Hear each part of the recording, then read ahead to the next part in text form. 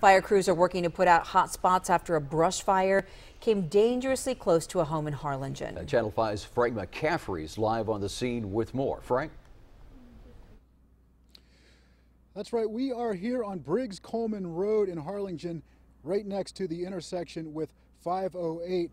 The fire was reportedly completely out at around 5 o'clock with only a few small hot spots that crews were working to put out. Calls came in at around 3 p.m. to crews in San Benito and Harlingen. The blaze destroying over an acre behind a Briggs Coleman Road brick house. Other homes are nearby as well as a new construction project.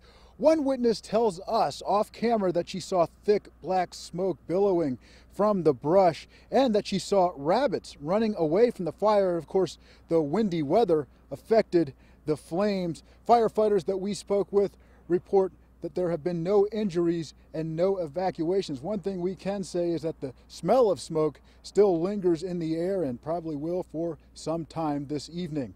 Live in Harlingen, Frank McCaffrey, Channel 5 News at 6.